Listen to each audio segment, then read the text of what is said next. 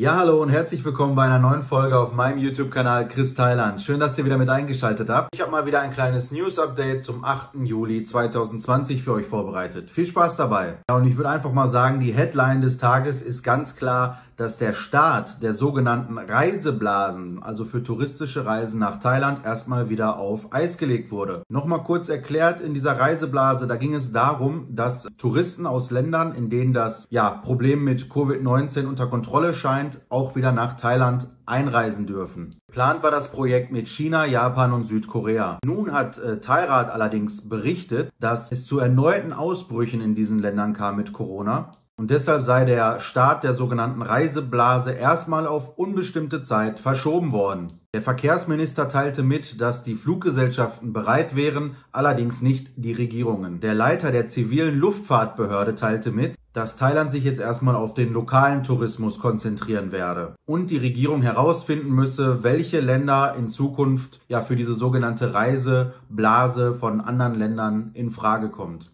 also von internationalen Touristen. Ja, was heißt das für uns äh, Touristen aus Europa?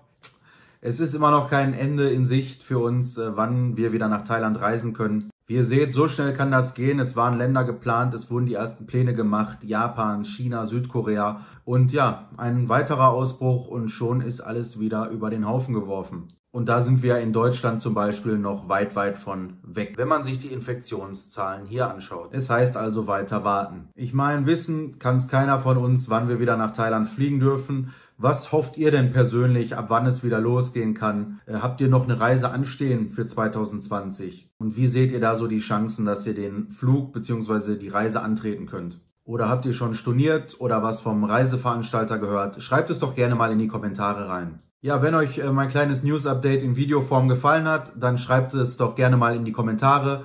Lasst auch gerne mal einen Daumen nach oben da, abonniert den Kanal und ich sage einfach mal bis zum nächsten Mal, bleibt alle gesund und ciao, ciao.